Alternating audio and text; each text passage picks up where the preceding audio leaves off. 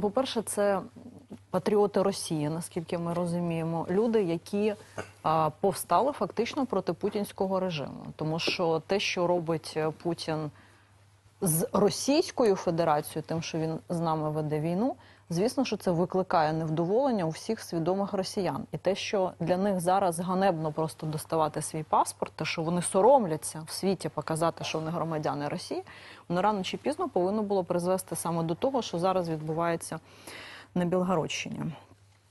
Тому е, це така внутрішня криза російська, яка була передбачувана в цій ситуації. І е, це свідомі патріоти Росії, які хочуть змінити політичний режим Росії. Звідки Яка ситуація зараз там? От що які е, останні новини ви знаєте? А, ну, річ у тому, що це невдоволення зріло дуже давно.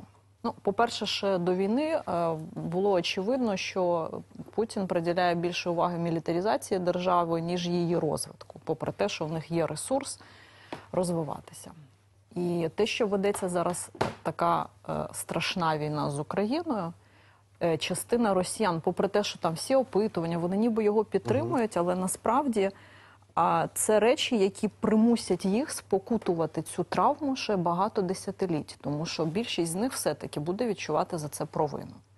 Е, Більшість з них відчуває за це ганьбу. І е, всі розуміють, що цей режим е, треба змінювати.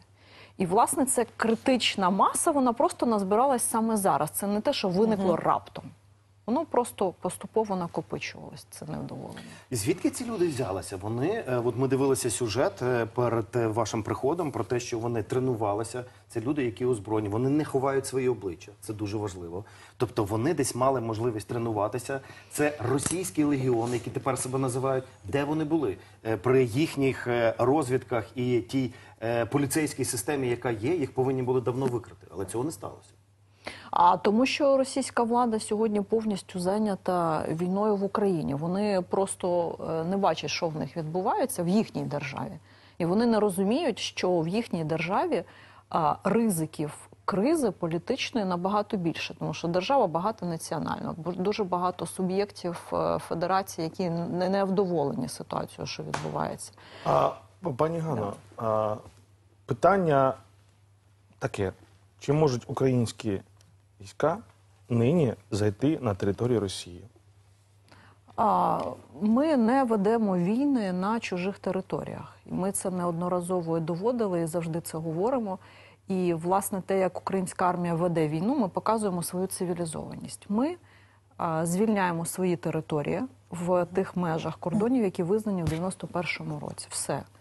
Е, Все, що відбувається всередині Росії, ми можемо спостерігати, що там відбувається. Ми розуміємо, чому так відбувається. От і е, для себе ми розуміємо, що для нас е, ця ділянка кордону дуже небезпечна.